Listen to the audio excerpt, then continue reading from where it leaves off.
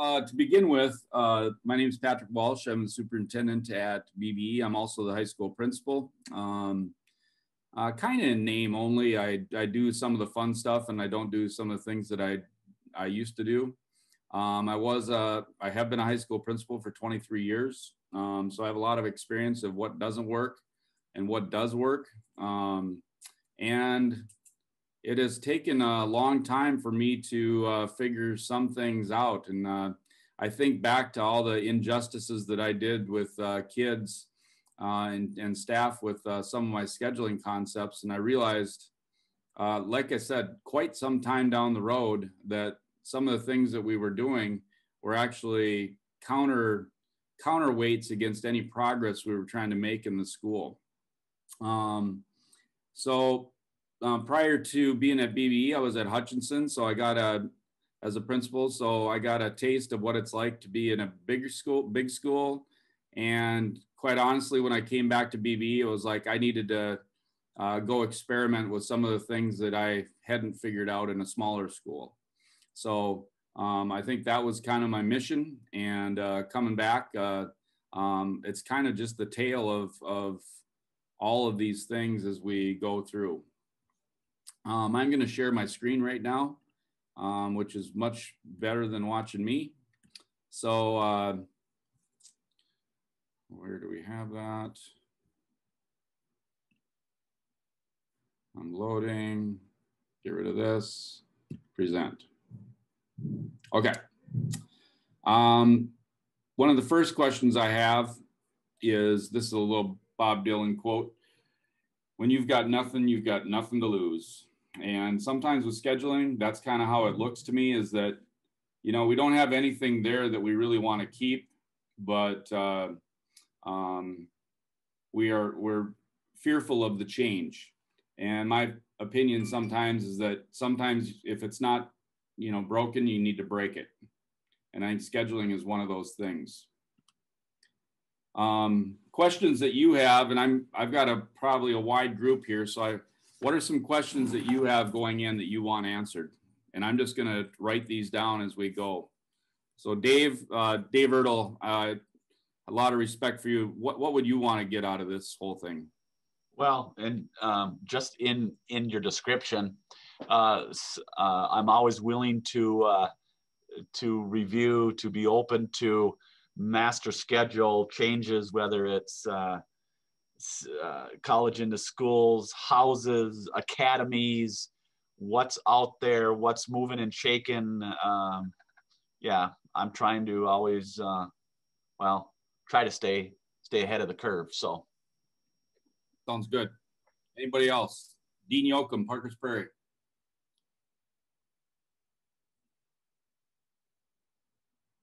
Mike Kolness, East, East Grand. You know, I uh, I'm not in the principal role anymore. Uh, did that for many many years, but I did invite our high school principal Brian Lord to attend this today. Uh, first of all, to see your stellar performance, Pat, but also uh, we are transitioning to a uh, you know career academy model here at East Grand Forks, and uh, just want to uh, hear what you have to say today. Good morning, Mimi. Okay. You can help kids that are struggling. Anybody else? Hearing that your child or your sibling at the start, my okay. we're, we're a school about your size, so we watched your video. Yep. Where our interest is is can we make our schedule uh, similar to what you have is what we're we're looking for. Doctors, okay. researchers continue to search for the cause. Jim Men, Bold, did you have similar? Yeah, I've actually before I even registered for this, I I, my counselor's at your building right now today, uh, working with your counselor just to find out a, little more than this. But you know, how did I guess one of my big questions is how did you get your staff, your faculty on board with this? Every donation okay. helps to find a cure for these cancers. Please donate online or drop. Sorry about my message here. If I could shut that dang thing off, I certainly would. Okay, it's one of my pet peeves as an administrator. I hate those dang things. Hate them as a teacher, and I hate them now. Okay, so I'm going to start off. Uh, when I first got to uh, BBE, I was reminded looking at that seven period schedule of how unrelenting and traditional it was. Um, when I talk to people about sharing, whether we go to an ITV meeting or any type of uh, meeting where we're looking to collaborate, uh, I had it at every school I've been to. And it's like, well, we have band fifth hour. And I'm going, how do you know that? Well, we just have it there every year. And then it's like, when do you have, uh, you know, shop? Well, that's always first hour. And pretty soon, you know, you hear of all these, you know, um, basically sacred cows in the schedule and, and people can't change anything. So when I was at uh, Hutchinson the last, uh, you know, from 2011 to 2018, I started seeing a lot of the, even in a bigger school, we couldn't get anything done when it came to get came to the electives. And I started thinking about what I thought was a perfect schedule for for a principal and what teachers thought was a perfect schedule for them. As a principal, I wanted to have at least 20 kids in every classroom and no more than 30 in any classroom. As a teacher in Hutchinson, I I come to find that their definition of success was when they had seven or eight or nine kids in an elective, they thought that was perfect schedule for them. But certainly when it came to the budget, that wasn't going to work. So it was like some of these things started slapping me in the face like, wow, you know, you've been doing this for a long time and surreptitiously you've been destroying innovation instead of uh, making it happen. So I used to, you know, as doing a master schedule, I still do this is that you literally will have an idea at 12:30 at night and you have to write it down or pull up your spreadsheet because you want to make sure you don't forget it. Um, so you get really immersed in that schedule as a high school principal. Uh, we always wanted kids to take electives. You know, the beginning of the pathways and academy journey for me started at Kenyon Wanamingo. Um, and we would have like these great classes like CAD, and we'd start these things, and nobody could get in them. And I was mad at the kids. It's like, why don't you take that? And they go, well, it's the same hour as pre-calc, and or the same hour as band, or the same hour as this. And like, there's so many singles in there that that pretty much we could never get more than six or seven kids in there. And what I found is that half the kids that wanted a class didn't get it, and half of the kids that were in a class didn't want it. And basically, they're saying, well, the lesser of two evils is me just take this class. The other thing is, so we get to BBE, and uh, ironically, the counselor here was one of my students at Kenyon Wanamingo. She was student council president, in fact. And, you know, she certainly had some trepidation about some of these changes because they were taking a hit on the sacred cows that were in the school.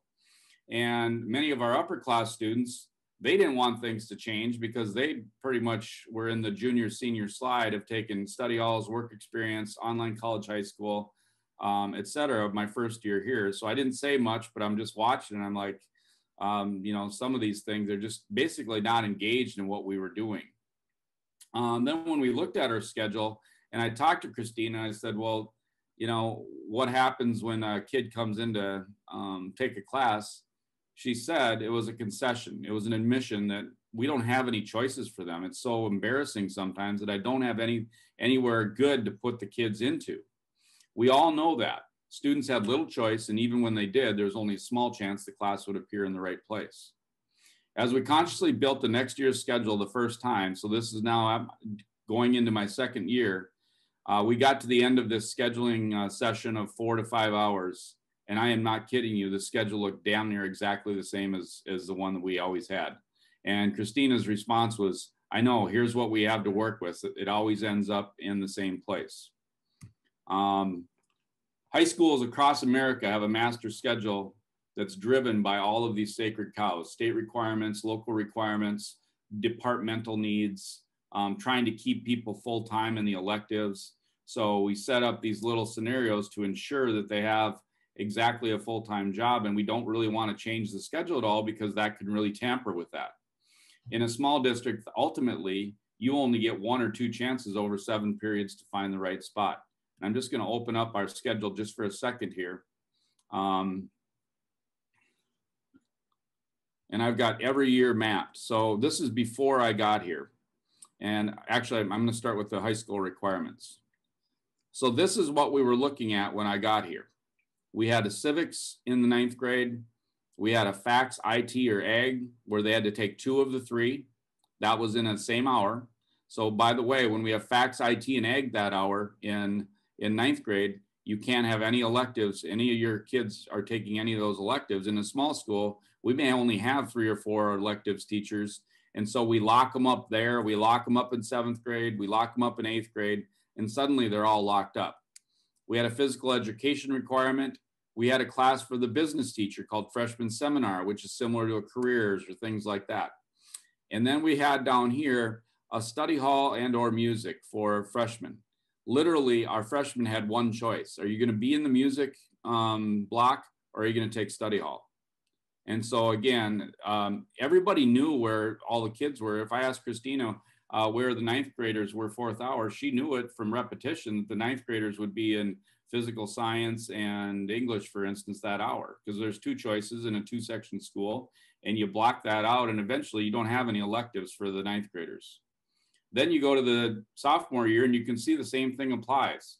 Um, you know, um, you have, you work that through your four core. If they happen to take a foreign language at some point, if they happen to take music, um, they really only maybe have one choice. So the only electives op that are available to that kid are in that one single hour. And you might only have one or two things that even a sophomore could fit in.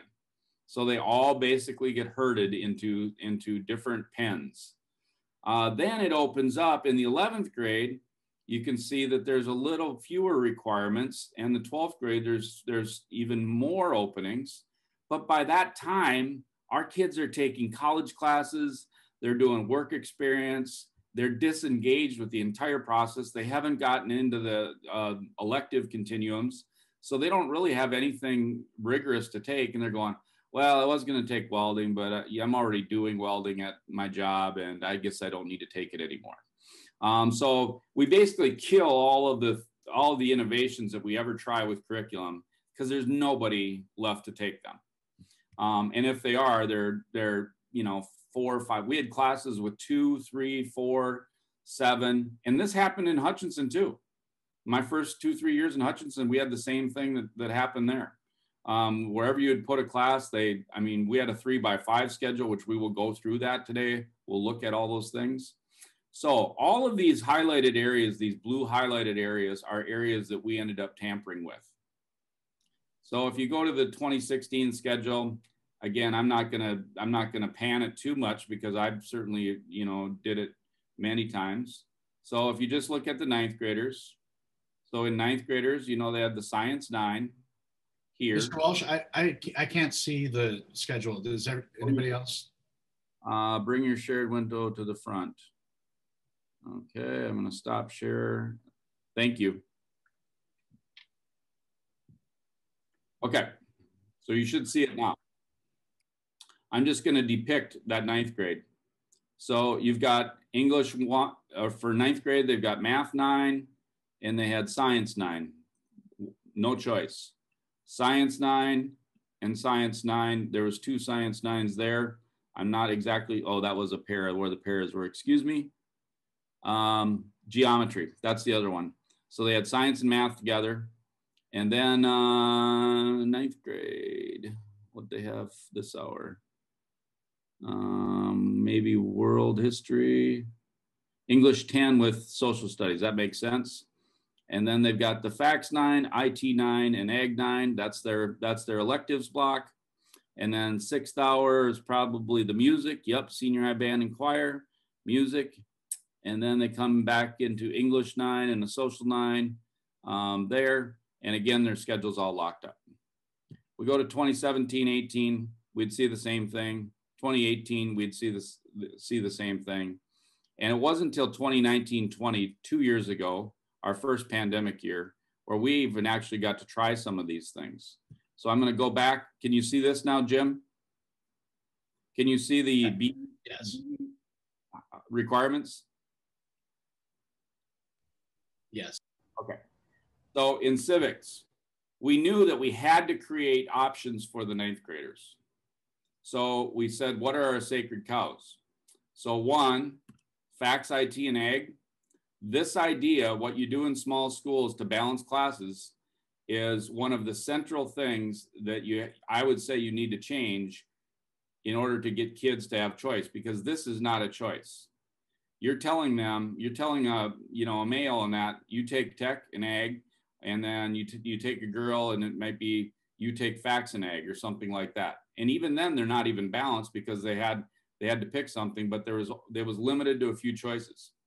Um, taking that might be their only pathway into those areas and they may never take it again because it's it's all everybody everybody comes in with a wide set of uh, expectations so that a lot of times these end up being more classroom type of classes because the kids vary so much and they're not as much hands-on as you'd like physical education having all your kids take physical education when they don't have many choices that is one that can get in the way freshman seminar careers, uh, uh, uh, maybe a mandatory ninth grade class study skills. These things get in the way. Um, so one of our big objectives was to get rid of those things. And we had a Spanish teacher. She was one of the first folks that really uh, gave me light. Is she said, you know, I could have Spanish one, two, and three in in my room at the same time and we would all just we would have a spanish immersion experience but they don't have to be at the same place and then the social studies people we talked to them and said is your curriculum linear and they would say not really. Um, do, do you really want civics at the ninth grade? No a lot of times the kids aren't really engaged. It would be almost better if we had a senior government class. So we actually dropped the civics requirement in ninth grade and just said, you know what, we're uh, we need to create some openings there. So that was a really big thing for us. And you'll see later on in the presentation, and this happens uh, anytime you do this, you'll see an explosion in these entry level courses like uh, welding one, woods one, foods one, uh, textiles one, um, anatomy, uh, forensics, first aid. I can just go up and down the line um, you'll see great enrollment early in their um, experience in high school. And I think this is one of the biggest things when it comes to academies for these schools that are looking at academies. Um, you want kids to get depth of understanding in a given area. Um, it has to start at the ninth grade level or you'll run out of time. So having an alternate year curriculum, so you see American history and world history. Uh, our teachers said that that was not sequential. You didn't have to have American before world. So all of our 10th and 11th graders are actually instead of two choices that they have as a as a 10th grader and two as an 11th, it's not a choice. We just put them in there.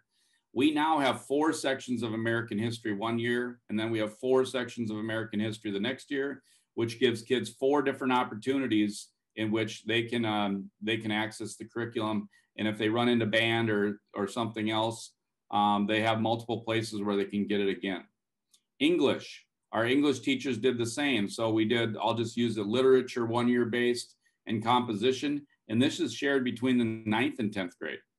So now they have four opportunities. We took the health, the health requirement that was locally required. And by state, you need to offer it. And instead of this class that every sophomore has to have since 1962, um, they no longer have to take health. That doesn't mean we don't offer health, and that doesn't mean we don't want people to take health. We do. In fact, we also think that the kids that get the most out of it are the kids that are most interested in it and are maybe heading towards healthcare, where we want to customize that course towards healthcare a little bit more than we would otherwise, because one third of our new workforce is in healthcare. And so it's very important to have those gateways into um, your uh, academies by having that intro class, but it's not required for every person. One of the lines that we started saying in Hutchinson, and we do continue to say it here, is, and I'll ask kids uh, when we have a registration meeting, even next week, what class, what classes are most important to our high school? And the answer to that is all of them. Um, welding has got great value, and it ha- but it has differing values for each student. Um, so you know, we have this this feeling, I think, in schools where, well, it's a fluff class, or they're going to take a slough class, they're going to kill down and just take foods classes, whatever. Foods classes is enormously important, but it's not the same degree of importance for every person. So um, I think as you personalize your school, you have to value every course in the school, and you have to make sure that everybody who wants it has access to it. And then you also have to have the ability to make choices. Um, I think one of the things that I encountered, and I haven't listed this in the in the um, um, presentation at all, but in Hutchinson, one of the big things was through the IEPs. Um, our IEP students weren't getting any opportunity to take electives because we were so fixed on math and reading, and the kids who were worst at math and reading had more of it than anybody. They were having two and three periods in a in a five block day, uh, probably three or four assigned to math and reading um, study skills that would help them in the math class and, and an extra, you know, special study hall that they might have to uh, get through the English. So they weren't even getting in there. So that was one of the places that we really use to start changing how we personalize school. And IEP should be personalized. To the degree, I would say that your IEP is so good uh, for students that everybody should have one. And I, I truly believe that. And so you can see a lot of the changes here, foreign language I've highlighted in, in different areas. And then also um, having all of our students do the, the math. Uh, we'll get into this later too. So um, basically that's, that's like a, that's where we were. Um, what are some of the big changes that we would make? I got to go back to my share and I'm going to go back to this right now. Oh, where are you? Okay, I got to get out again, and then I got to get in again.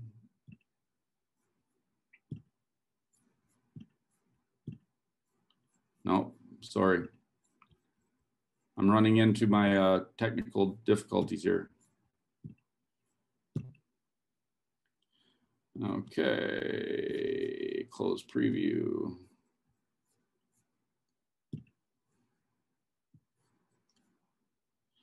Okay, macro level changes. These are changes that are big and they also have budget implications. So I'm going to take you on a little bit of a, a math journey here. I'm a former math teacher, so I, I do get very enamored with uh, numbers and apologize for that, but I'm just going to dig a little deeper here. What is the most efficient schedule financially? What is the best for students? Are these the same answer? And there are so many questions you have to contemplate ahead of time. Um, again, this is not a, a list that uh, you probably are disfamiliar with, but what is the cost per period for a course? You know, for me, I've generally thought of uh, a course that we teach is something like around $10,000 a year. So, you know, if we if we had an average teacher cost of $60,000 and our teachers teach six periods, I look at that as a $10,000 cost per period. If I have two kids in that class, then I'm looking at, you know, over the course of a year, that's $5,000 per semester. It's now $2,500, you know, per semester per kid. There comes a point when you really can't afford to offer those and you have to look at other alternatives if you're going to do it that way. Do you include supervisions for those that need them? Um, I ran into it here. I've run into it almost everywhere is that we had to assign a supervision for teachers because that was in the master agreement. And even though we didn't need them, by the way, reducing the need for study halls reduces the need for, for supervisions, which means that then those people can help with things that you really do need. You know, uh, in Hutchinson, we had at my first year there, we had 500 people in lunch and we had two people, including me, to supervise them. And we wondered why we had issues with lunch well, it's awfully hard to supervise that many people. We do need some help with supervision. Uh, who is responsible for creating a master schedule? You know, I always had to do that. I, I really didn't even know how to do it when I started as a principal, but I, I remember the first uh, principal problem I ever had. And that was I had seven kids in one Spanish one section or, or Spanish two, and I had 43 in the other.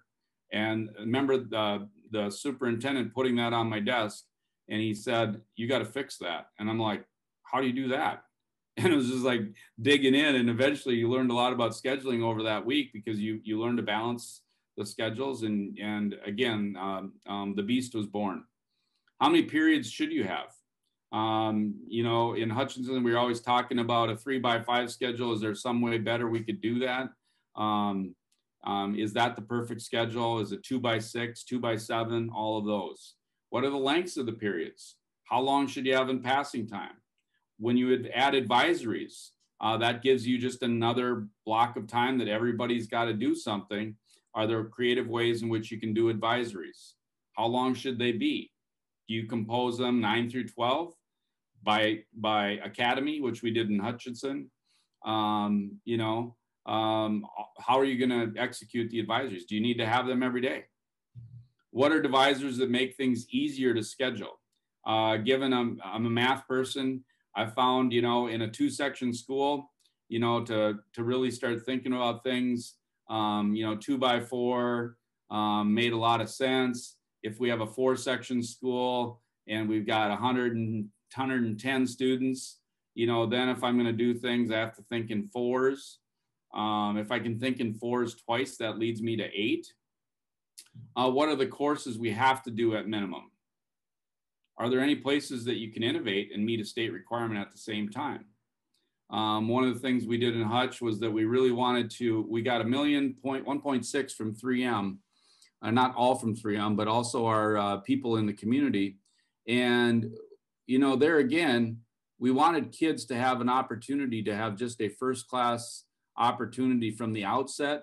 And in engineering, um, we looked at all of our science classes. We were a three term science school, so three by five.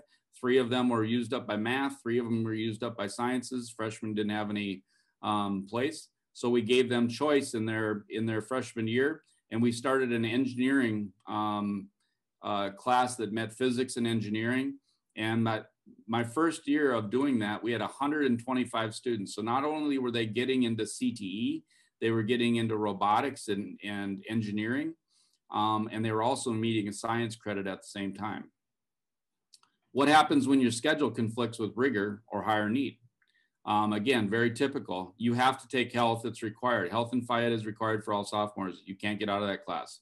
But I want to take I want to take pre-calc as a sophomore because I don't have room in my schedule. This happened all the time in Hutchinson as we got better better on our academies is that there was conflicts even then, but we had to have a way out of those conflicts. Whenever you replaced it with rigor or higher need, um, we would uh, utilize the rigorous course waiver to accomplish that. And always, what is best for students? Do your choices harmonize with this thought? Sometimes welding is more important than social studies. Sometimes. Sometimes social studies, taking AP Psych, is more important than welding. It, you, you just have to customize that to each student. Again, a mathematics thing here, type of schedule. When you go two by six, you get a teaching efficiency. If you teach five out of six, you get a teaching efficiency of 0.83 because you probably don't have study halls or very limited study halls. If somebody has a study hall, they have to have a prep. So then your teaching efficiency is only 0.67. It's going to cost you a lot for staff when you have only four of those six periods are utilizing teachers. Um, when you go to a three by five, it's really good from the teaching side because your teachers are teaching 80% of the time. They have four preps. Uh, we had no overloads. Uh, basically, in Hutchinson, overloads, that would have meant they would have been teaching all periods. So we didn't even have a possibility of really going to an overload. Um, and so your supervising efficiency, though, is the lowest of all of them. So one of the big problems we had in Hutchinson is that we didn't have any supervisors for anything other than just teaching. In a two by seven, you get five out of seven typically is 0.71. Uh, you have a few schools like uh, Osakis is one of them where, you know, back 20 years ago, instead of a cut, the teachers agreed to do a sixth class, which uh, bumps their efficiency up to 0.85 from teaching. There again, when they're teaching six, they're not going to be doing something all seven periods of the day uh, but your supervising efficiency is 0.85 otherwise. They, they're going to help with lunch or the, a study hall. In the two by eight, of course, you can have teachers teach six or seven. I know of schools that do seven out of eight. Um, teachers tend not to agree to that, but that's 0.875 in a teaching efficiency. But for sure, even if you have six, you have a potential to get up to 0.875 on that efficiency. Finally, the four by four, obviously, if you have three teaching periods, that's one of the fewest of each. And so schools, when they say they have to cut because the block schedule is too expensive, it's because they probably have three teaching and they they have a partial supervision there. Um, but if they do have to, you know, if they have to do a split study hall or something like that, um, you're going to get you're going to get an opportunity to get up to 0.875 there. Anybody have any questions with with the math there? Do you understand what I'm talking about? This teaching efficiency is a very big thing to consider. Um, because I think when we have teachers who are highly, highly qualified and we need to get them in front of students as much as possible. I think that's one thing that's a real drawback of the seven period day. The seven period day has got the least efficiency when it comes to teaching. It almost requires study halls and those types of things to make it go. And in schools like this, they value their study halls because they can get kids in them. And if you got a place where you can harbor 40 kids, uh, then you go that that per student efficiency. Um, you're paying you're paying people to do study hall in that example. More math. For example, a two by six versus a two by seven. In a two by six, each semester will have six different classes or 12 choices total. So it's very efficient. And a lot of the bigger schools, when they had budget cuts, they get down to a six period day because it is it is the ultimate inefficiency. You get one each of your core, you get a music period and a language period. So freshmen and sophomores, they're pretty locked up. I don't know where the only people that are going to get electives are people who don't take foreign language and who don't take music. One or the other, and or so they might get up to two possible electives. So no electives possible if you are the basic everyday American college prep student. And if I go to uh, the college prep factories, you know, the Wayzatas and the Minnetonkas and the Edinas, this is very common where their kids don't take any CTE classes. Consequently, they have very few CTE teachers. Um, it's pretty efficient. Teachers teach five uh, periods, no supervision, which is 0.83. Excuse me, I put a typo there. Um, then you go to the 2.2 by 7. You do get choices, but typically they fill them up with study hall. Every kid here basically had study hall when when other than the music people that were in language every kid had study hall. We had 200 200 and some 225 kids that took study hall uh, in uh, out of 300 um, this seventh period available generally gets eaten up by a required art PE or vocational elective. This works great for the scheduler and the staff. They know what they're going to get it doesn't take long to do the schedule excuse me and it uh, it does eliminate the voice and choice for the student. So me coming from Hutchinson, where we developed an academy model pretty well, when I went out to the seniors who were sitting there taking online college, high school, and things like that, and we would have routinely, we might have 20 seniors sitting out in a place we call the cabs, um, the senior cab area, and they were taking online classes at any given hour. And but I'd ask uh, somebody, I'd say, "Hey, what are you doing, uh, Allie?" This is one uh, discussion I had. Allie, uh, what are you doing next year? uh, I'm going into healthcare somewhere. I'm not really sure what. And I said, so what are you doing in terms of your classes to get you ready for healthcare?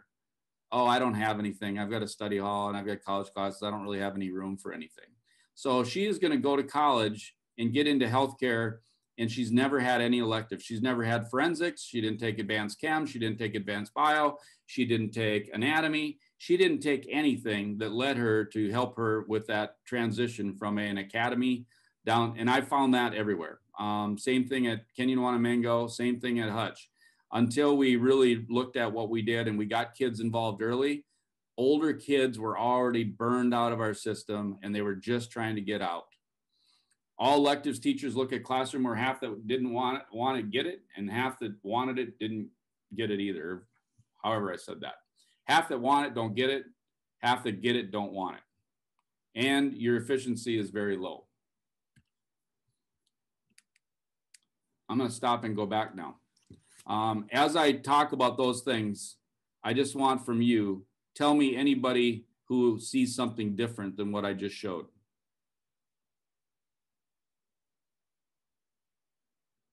Or anybody wants to say anything at this point.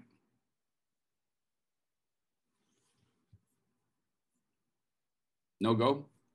Well, I'll I'll say something. We we're look we have a seven period day right now in East Grand Forks we're looking and we're trying to do that academy model that you're doing at Hutch or did in Hutch or whatever, but we're looking to try and do what you were talking about, adding another period, trying to add an eight period day, but then put also in a modified block. So like on a Wednesday, Thursday would be a four period block and a, and Thursday would be a four period block and seeing how, because what we're seeing is the fact that, like you said, the electives are not being able to be um, taken because they're they're tied into their five cores that they have in ninth grade, and then there's no room if they're a band choir slash foreign language person. So that's what we're looking at trying to do. We did that at Kenyon Wanamingo, the modified block. That was our answer to it, is to get kids, and, and it did definitely help. So I think that seven period day is a killer. Um, I really do. I mean, it's it's so common, and it's it's inculcated in in our system so big, but it's it's really a killer for innovation.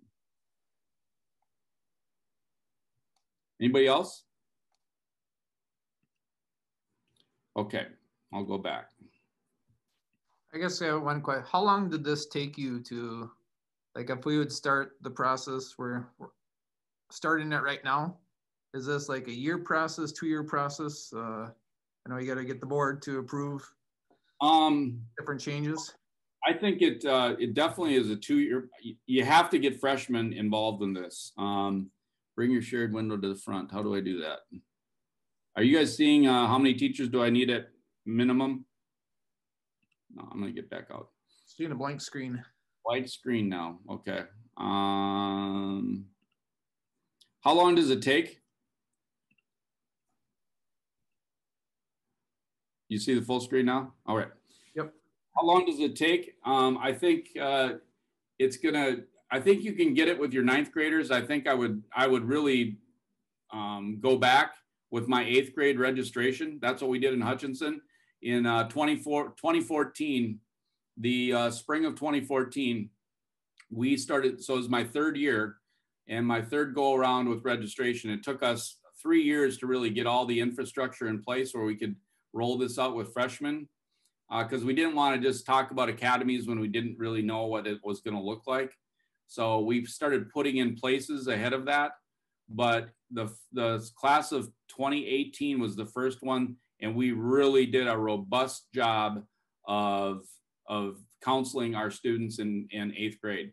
And so we brought them in. And I will say that when those kids were seniors, we still didn't quite have it because we weren't, it took us a while, even at with that group, to really get that where staff understood what was happening. But by the class of 19, so the second time around, they certainly knew what their Tiger Path was. And by the class of 2020, those kids knew it inside and out. When we had, uh, we finished a new high school in Hutchinson in 2018, uh, actually 2017, so the 17 18 school year. Um, and we had many schools visiting us because 3M was touting us uh, nationwide. And so we had people from all over the country coming in. And I simply would turn to a kid that was in 10th or 11th grade and I'd say, Hey, tell me what Tiger Path means to you, being in that academy. And they gave more eloquent answers than our staff probably could.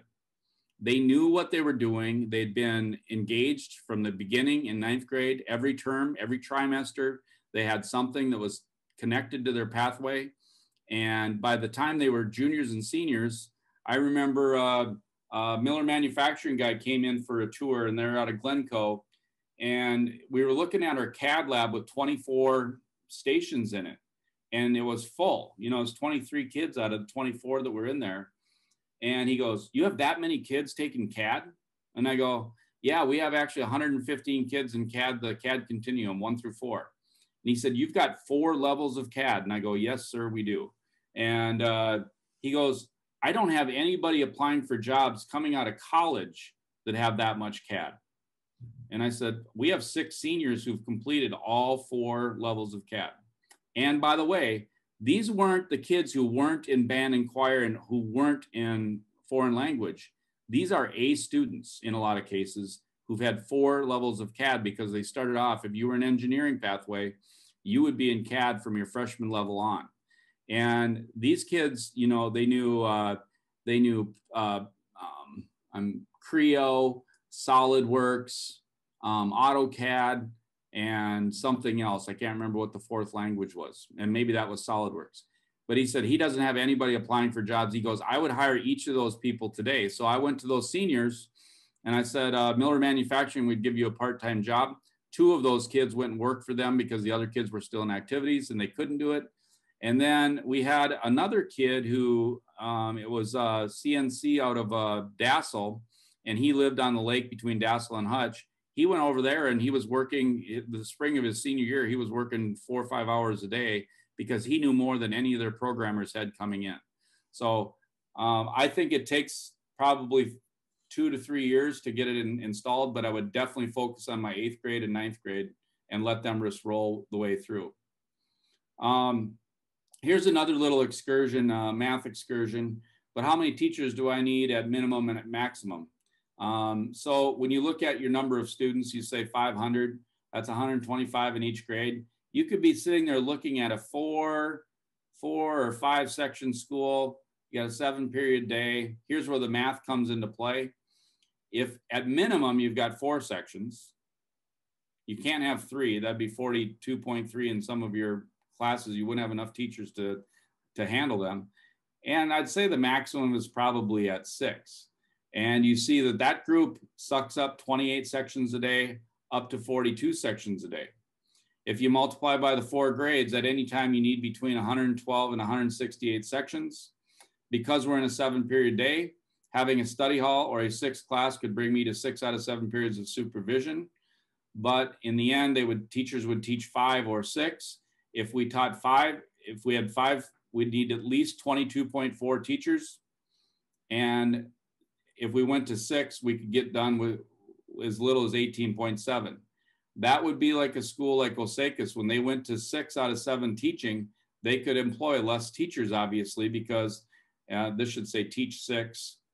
So this is teach five and one supervision. This should say teach six and zero supervision. I got that backwards. Um, and then if they go to the higher end of this, um, you, you would need 33.6 to 28. So this is your range, and you see you're ranging from 18 to 33 by the way that your contract sits. In that student teacher ratio, you go from anywhere between 22.3 out to 33.4. And some of some bigger schools are in that range where they have literally 35 kids in a sophomore health class. The requirements what are the state and local requirements? And this is a really, I mean, this is where we started really making hay, I think, in Hutchinson, is that we started really looking at these things literally. Students are required to complete two kinds of requirements. In this one, satisfactorily complete all state academic standards, which we were taking literally in Hutchinson.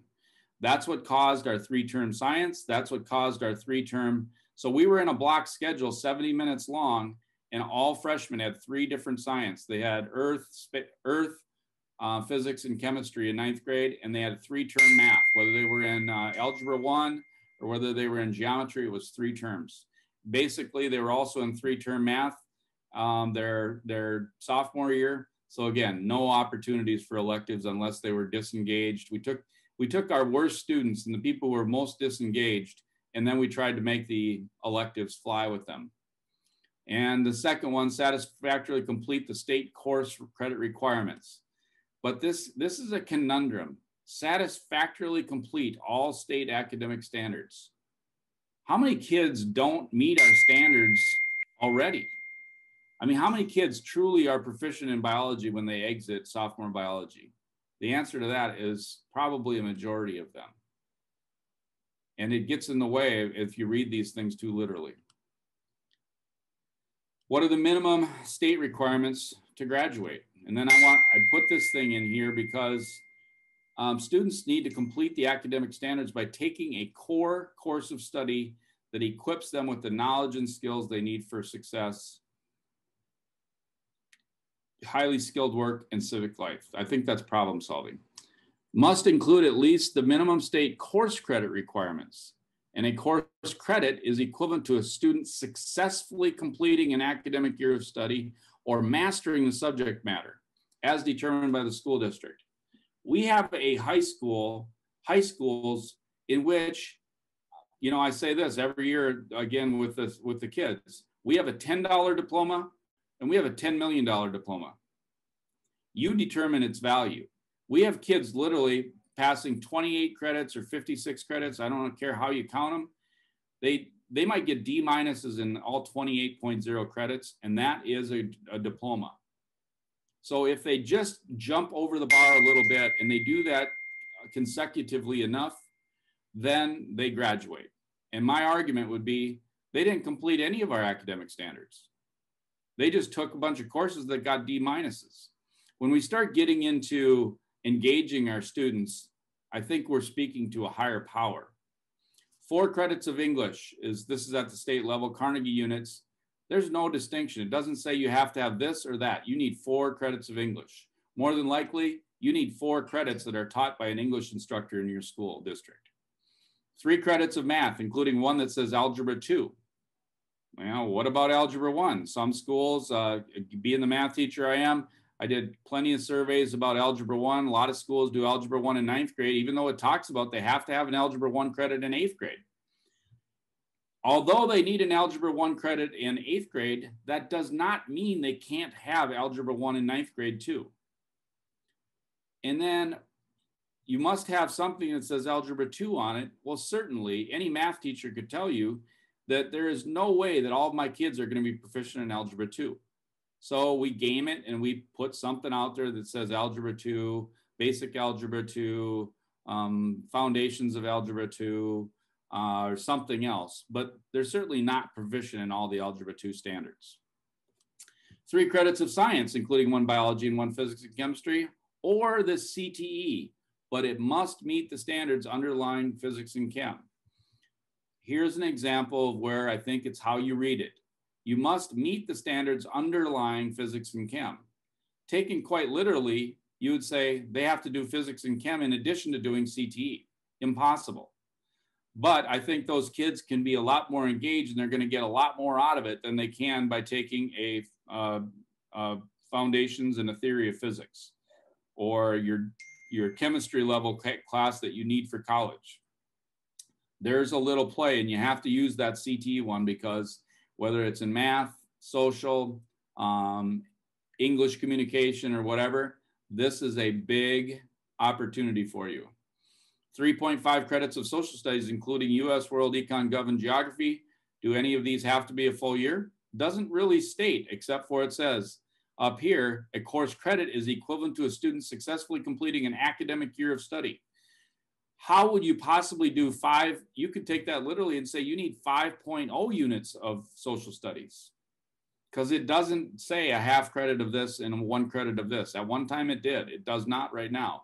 It says 3.5, including these contents. How do you do that? One credit of fine arts. What counts as art? There's actually CTE is something that can count as art. It's controversial as heck in your school but having multiple pathways into that art credit is another way to get kids into uh, more flexible foundations.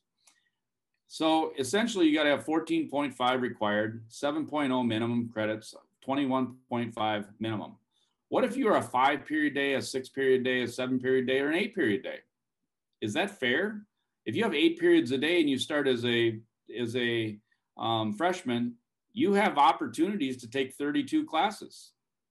So 21.5 is a bare minimum. If you require 24, uh, there's a lot of room for error. In, in fact, your $10 diploma more than likely is going to be that. Um, when I was at Kenyon Wanamingo, we were surrounded by two by six schools. So because we had an eight period day and we had 32 credits, you needed 30 to graduate, we would have kids, they can't make it there because let's say they're going into their senior year with 20 credits and one of our neighboring two by six schools of bigger, of larger size, they would go over there and they'd say, well, I can graduate at Northfield. Um, I, I can't graduate at Wanamingo, but I can go over to Northfield because Northfield was a 24 credit graduation. And they would just say, well, they had these units over there. So um, again, that 21.5 um, can be very misleading and it, and it could be a drawback about why your kids are transferring out. When I got to Hutchinson, uh, that was also a factor for us. We were losing about 20% of our students that weren't graduating with us. and they were migrating to the charter school or some somewhere else to another district because they couldn't graduate at Hutchinson with our credit requirements. So this is also an important thing to look at. The less there is to justify a traditional custom, the harder it is to get rid of it. Most of us look at these schedules and we see the dilemma that we have, but we can't get rid of it. So then you get into some of the smaller changes, fine tuning. So impact enrollment. Where has this journey taken us? And again, and we've amassed 400 more enrollments per year. So we have 400 more students who are enrolled in classes in that semester. When you consider that each student can only take 14 classes per year, this is 30 full-time students we have reclaimed by the way that we are doing our schedule. We've actually reduced the number of full-time equivalent from that time. And where did these students come from? Study hall, work experience, and online college high schools. I'm going to click on this button. Hopefully you can see this. But we track this, and this is something I did in Hutchinson too. Um, we had all of our gateway classes and how many kids are taking them. Um, even though we've changed some of those sacred cows, it really hasn't resulted in less enrollment for anybody and some substantially increased enrollment for others. Agriculture, and that, that's one where they were intact, I would say. Uh, has not hurt their numbers. They've, they've grown a little bit. Fine arts, not hurt their numbers. 40% increase in the number of people in, in those fine arts classes, um, in art specifically. Um, business, 380% increase. 17, 33, 49. Out this year, 145 business enrollments. I was keeping a full-time business teacher over here, and I have a full-time business teacher over here. To be fair,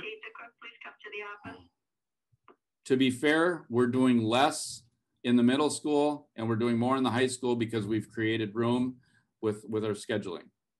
English has not hurt them, 24%. FACS has not hurt them. Great teacher. She obviously, because she was a great teacher, she was uh, somebody that everybody accessed. And the juniors and seniors, they would make they might take the FACS because we had a great teacher. Industrial tech, 352% increase. Uh, this is true in Hutchinson is, is here. You notice here we have 10 students that took welding and woods together in combined in 16, 17, six students combined. We basically, these were dead. These were dead electives. And now you see the numbers that we have in them. And CAD engineering, we've added CAD engineering, and we've got a 352% increase in industrial tech. Math, um, advanced math. Um, again, because kids are identifying earlier, they were assigned to an academy. They understand that if you want to be an engineering uh, major in college, you're going to have to take pre-calc and those things. Um, none of our kids took those um, before. They were just taking college algebra and getting their college credit and being done. Um, they're also probably not getting engineering degrees when they get out because they have to make up the uh, math classes to get there. Physical education, 131% um, increase uh, with a lot more in the weight training. Flexible, where you can have weight training one, two, and three. Anybody in that room, personal personal fitness. We can have anybody in the weight room at the same time. They're just in different curricula. Science and healthcare, 232% increase. Social studies down a little bit. Um, world languages up a little bit. And where did it come from?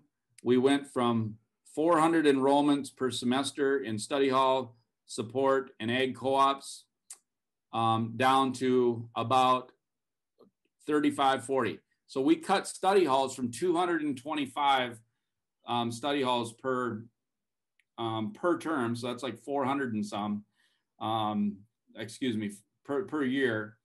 We're about eh, study hall 76 out of 278, four times fewer people in study hall. That is big. But you have to have something for them to go to. Okay. Um, here's what we did. Major, give your freshmen and sophomores room to get into electives, or they may never get them. They'll never want them. Kids that go to college, they'll get through their freshman and sophomore year in college. They still haven't had an engineer, engineering class and they might be just, you know, in school to be an engineer. They don't know why they want to do it.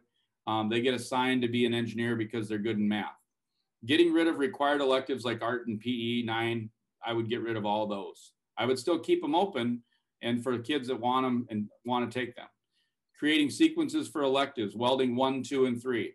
Having names like welding in society, uh, welding for the future, advanced welding, and something else is really, it, it does disservice to your kids because by the time you get out to be a, um, Can I have your attention, please? Oh my gosh. eighth graders, listen up. Student council Excuse me. Today in Mrs. Halverson's room during Connect. Seventh and eighth grade, student council meeting today in Mrs. Halverson's room for Connect. Thank you. So one of the things that I think is a killer is when you have names that don't connect in the sequence. Um, typically in uh, in high schools, you're going to see every class in the CTE area end up being a 9 through 12 elective because that's the only way they get the kids in the class. Um, they get four ninth graders, four 10th graders, four 11th graders, and four 12th graders. It's everything is an intro and nothing develops any deep skills that you need in an academy. Reducing, eliminating non-essential requirements, as I talked about before, using the rigorous course waiver, which I linked here. Um, I definitely think you have to add that to your graduation requirements. Um, this is a huge thing, and I'm going to click on that one.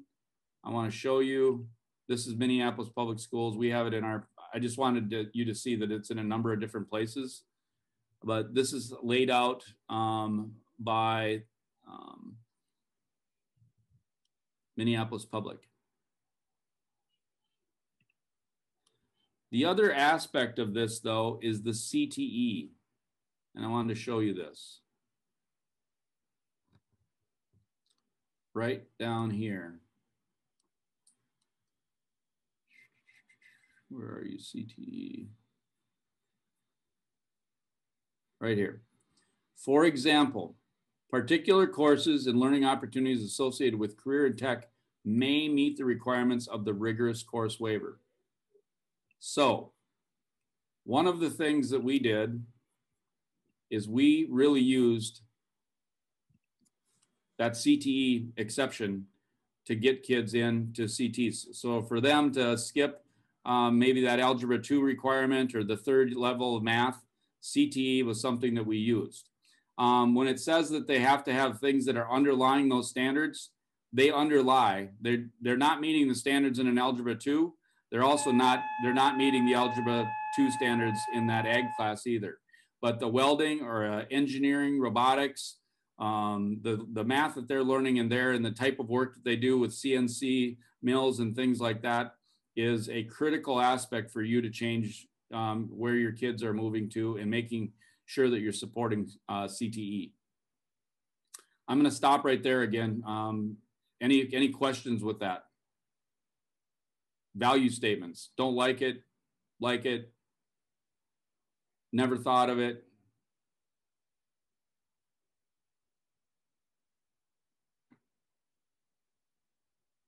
Wait time here.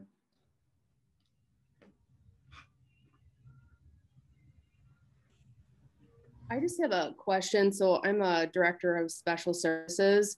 And um, so thank you for presenting on this. It's eye opening. Um, how does it work with your special ed small group types of classes and when you're forming these master schedules?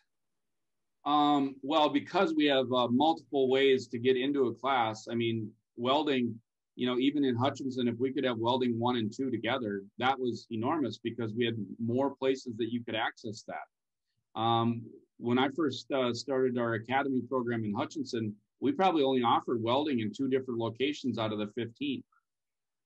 And if then, if that was a welding one and a welding two, there's no access. You're never going to have people get to welding three and welding four because it'll never fit their schedule. And special ed is critical because you can design um, a, a, a schedule for a special ed kid. But to me, we would start with welding, engineering, um, automotive, um, woods. That is the most important class in that special ed kid's IEP. Not English, not, and if we had a, if, if the schedule was going to get in the way of them taking welding, then we were going to modify their IEP to eliminate the requirement because we can.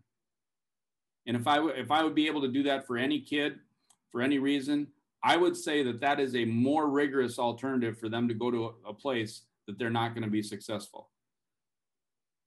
They're running in a race that they're always going to lose. And for some of our kids who are DCD and, and whatnot, the very first couple things on their schedule is going to be hands-on things. They will not leave my high school without having a lot of hands-on opportunities.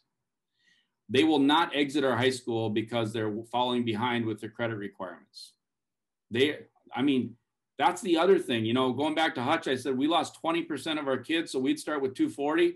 We would lose, we'd graduate 208.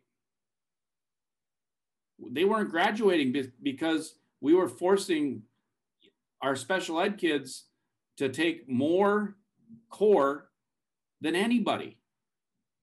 And I even had arguments with special ed teachers. I mean, professional, these are great people, by the way. They, they care. And they said, well, I really think reading is important. Well, I'm going to agree with you. Reading is central to everything. But how long are we going to continue to provide additional remediation for kids who are really struggling with that? Don't we at some point have to look at their vocational aptitudes and their ability to problem solve and their busy, ability to communicate um, to get in settings where they can make money? And they can make a lot of money by the way. Uh, a lot of our kids that are coming out of uh, these vocational programs are starting at pretty much where a 15 year teacher might be. Um, so at some point we have to look at other alternatives i would say in the high school is that time you have an iep a transition plan from age 14 to 18 that should be totally, uh, you should be driven by student needs. That'd be my response, Chris. I don't know if that answers it, but um, we definitely use that.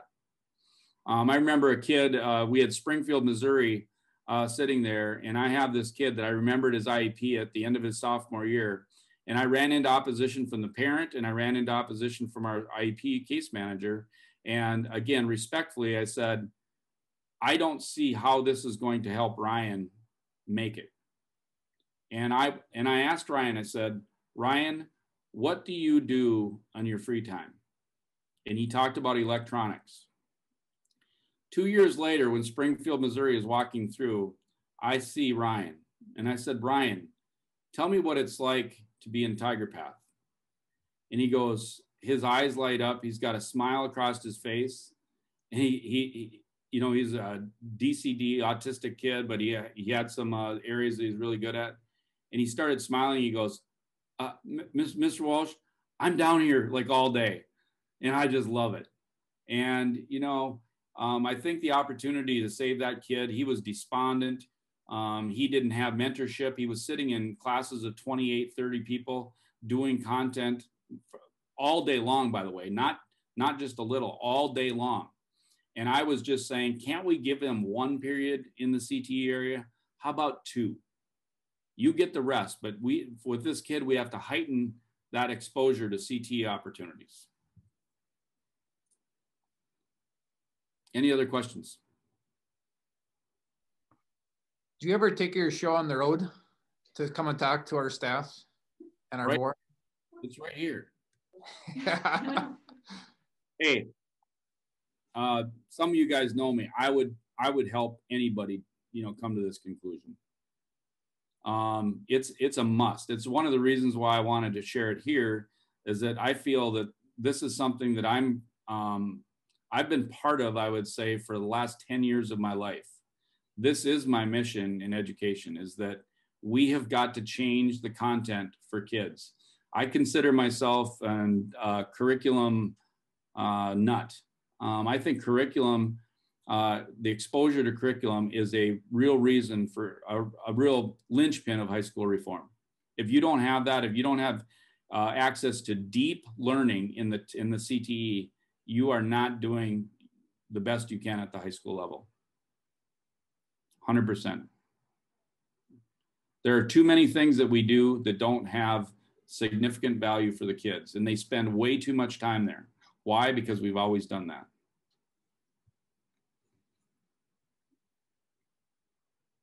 So yes, if you need, if you want me to, you know, talk to your staff, I, I'm open to it.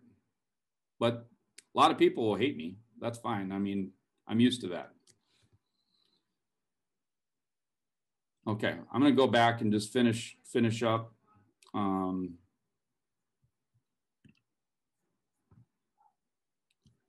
go, that's gone. Screen share again. Okay.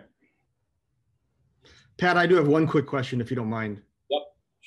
Are you, I'm in a building where our middle school and, and high school are under one roof. And so having that common bell schedule with shared staff is a really big deal. Is that the scenario you're in or no? Um, we do have it, as you can tell, every message goes to every person and we're, we're just, we're doing a new building. So we're gonna, you know, stymie that hopefully. Um, but I'm gonna, I'm gonna go to the next slide. I just have to show you this because this is, this, this Yeah. is some pretty important stuff. Okay, key players. The key players, uh, the high school counselor is the most valuable player in your school. You really can't afford to have anything less than a great relationship with this person. They have to be on board. Word of mouth drives market share. And that is exactly what we do in high school with electives. It's about getting market share. Uh, if you're going to get market share, you have to be interesting. It starts with your counselor. Uh, we have a very energetic middle school group of teachers, uh, leaders that are always looking to innovate. We've got a couple different Bush grants. Uh, we've got a Weedham grant. We've had over a million dollars donated to our school district in the last two years from various sources, including some local, because they believe in the Jagways plan that we have. Um, it starts with the middle school piloting uh, three years ago. Uh, when I got here, they had four hours and the kids were, were scheduling themselves on a daily basis. So that middle school science teacher has seventh and eighth graders in there at the same time. Depending on other things they need to do, sometimes they need 90 minutes of science. You know, some days they need to finish their math. Um, but they're all basically on, on a standards-based uh, curriculum. And so sometimes they need more, sometimes they need less. This idea has survived. They are constantly pushing the status quo. And I would say because some of them teach in the middle school and the high school, they're saying, when are we going to do some of these things with high school? That spawned some of the changes that we're talking about in year two is when our social studies said we could do a alternating year curriculum. Our Spanish teacher saying that she could do Spanish one, two, and three together. You ask, how do you get that done? It would not have got done if our teachers did not uh, agree to this. And I, I'm going to mention this there too. Uh, our administration, do, do your do your people who make the schedule, do they not want the frustration of building a student-driven schedule? I might have been Dave Ertl, you know, himself, who probably told me this way back when at a, at a principal's conference. But we have a student-driven schedule. What does that mean? Is that every year everything's in play. Everything's in play. It's it's driven by market share, not teacher market share, student market share. Your school board, as you propose changes and reductions, you have to convince your board that by reducing requirements and red tape, students are free to build meaningful and challenging curriculum. If you don't have space in your curriculum or your schedule, you need to create it.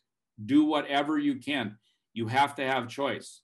One of the things that I will always encounter in high schools, as soon as you give students choice, Mr. Walsh, just tell me what to take. I don't know what I want to take.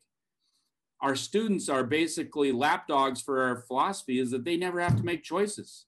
And then we ask them when they're seniors about what they're going to do, and they go, I don't know what I want to do. Well, I don't have any experience and I haven't had any mentoring around my choices. As soon as you create a void, now somebody has to make a decision. It might be the wrong decision, but it's a decision. I didn't like chemistry. I don't want to go to uh, school for, I don't want to do any more chemistry. I don't want to go healthcare. I really like hands on things. I want to go to Wahpeton Science and be a diesel mechanic. That's a good choice to make before you go to college. Our core teachers' expectations were so high on personalized learning. Many key players played a role. Uh, social studies did, English did, um, mathematics did, and pretty much if if you're not part of the change in our school, including your superintendent or your principal, it's like you need to get the heck out of here. And we do talk about that. If you don't like this, there's other schools that do it traditionally. You know, that's an option for you. And teachers don't like hearing that, but is it something that you need to be willing to say? so other potential scheduling ideas that fix problems, reduce barriers, modified block um, at the top of your list. You know, East Grand Forks, you mentioned that. Uh, that's something that you definitely can do because now you're going to be able to extend your time in lab classes. You could do digital uh, schedules. So you can do six or eight day digitals, uh, support hybrid courses anytime, anywhere.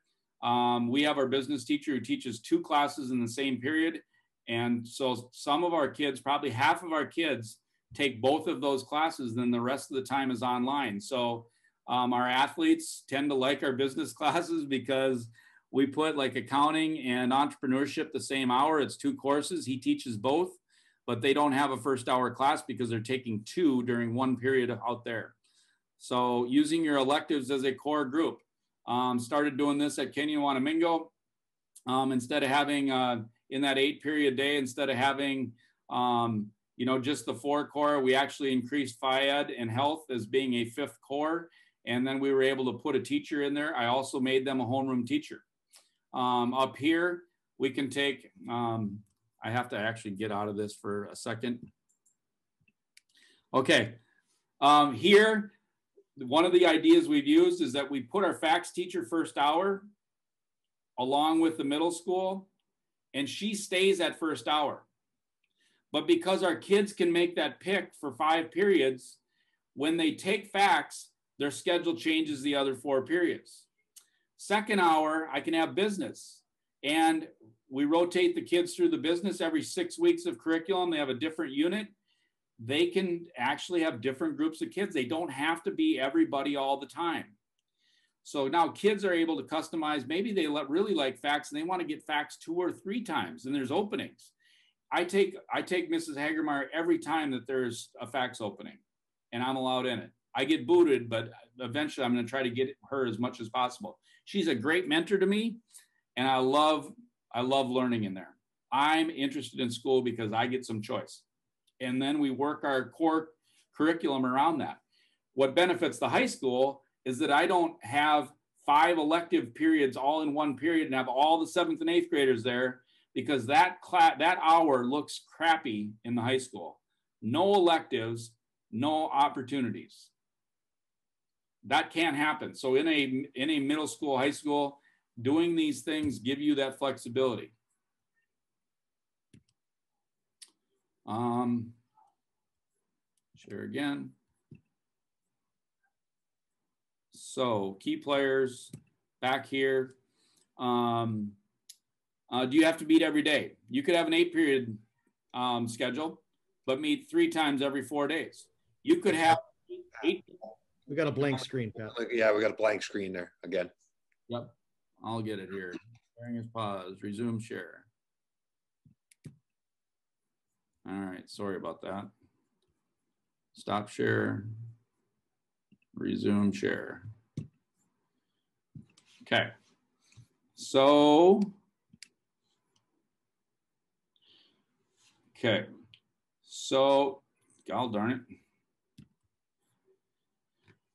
So in that particular example, you have four days, six periods a day. You could have 24 periods every four days, but only have six of them meet each day. So they would have less transitions in a day. One of the impediments in Hutchinson to get out of the three by five schedules, I was shocked that the kids did not want out of the three by five. When I did my focus groups of students, I asked them why. And they said, the biggest reason we like the five period day is that we only have five classes at any one given time. I asked foreign exchange students the same questions. They said, Tell me what's different about Hutchinson High School than Norway.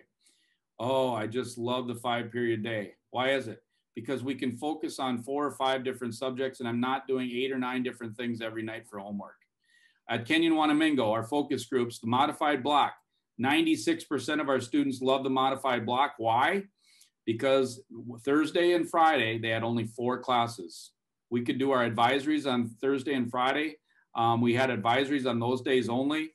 Uh, they liked that. Um, it was it, it, met their scheduling needs and when they have games and activities and jobs on weekends and at the end of the week they would only have four contents at most maybe three that they had to do their homework at the end of the week It's a student driven idea. Uh, dynamic attendance, be present even when you're absent. Uh, absent. Uh, we are installing ViewPath um, this spring so that all of our instruction will be videotaped and archived daily if you can't be viewing it live. So when our kids next year leave at 2.50 to go to Maple Lake, um, there's no reason they can't be tuning into the class while they're on the bus to Maple Lake. When our girls were in the volleyball tournament last year, um, they were doing their homework as they were getting ready for the, the semifinal game in the afternoon because our volleyball students are good students. And we said, even if you go to the game, you're still responsible for the content.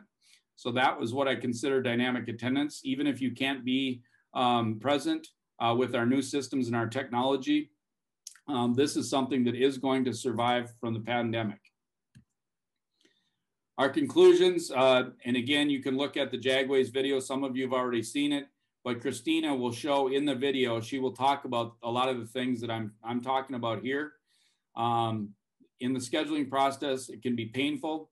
Um, any great idea that you have costs time.